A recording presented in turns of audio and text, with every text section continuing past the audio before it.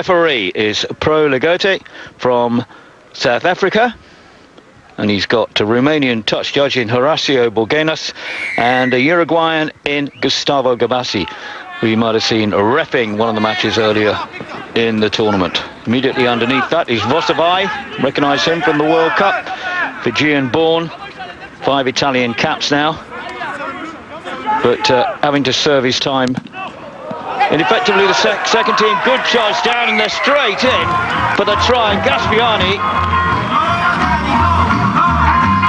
go Johnny, go indeed. It's Gasviani. David Gasviani. There's the charge down. Excellent work by Gundishvili. Also playing in France with Perega. And about a minute gone. Great start by Georgia. There you go. It's Duca, the scrum half who's, uh, sorry, the stand